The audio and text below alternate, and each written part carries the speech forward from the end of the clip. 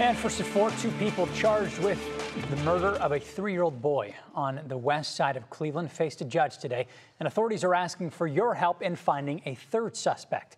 34-year-old Juan Davis is charged with aggravated murder. The judge set his bond at $2 million.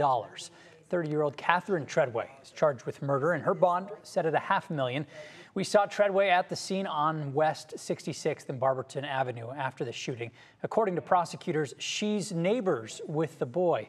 Last Thursday, she's accused of getting into an argument with a neighbor, then calling her co-defendant Davis to the scene.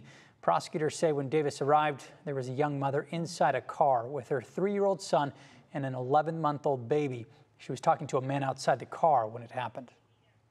This defendant allegedly with uh, accomplices approached and fired approximately 12 rounds in the direction of the vehicle. Uh, Mr. Davis um, denies the entirety of the allegations, Your Honor, and while this is a, a tragic loss of life, um, the defendant is entitled to the presumption of innocence, Your Honor.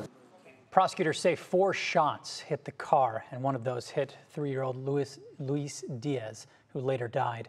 Our Neil Fisher interviewed Treadway after the shooting and before her arrest.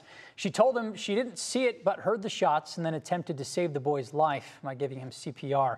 We'll hear from her coming up in the news at 6. And we also learned today the U.S. Marshals and the Cleveland Division of Police are offering a reward for information that will lead them to fugitive Devont Parker. Parker is wanted not only in this case, but also for another homicide that happened in May in Cleveland.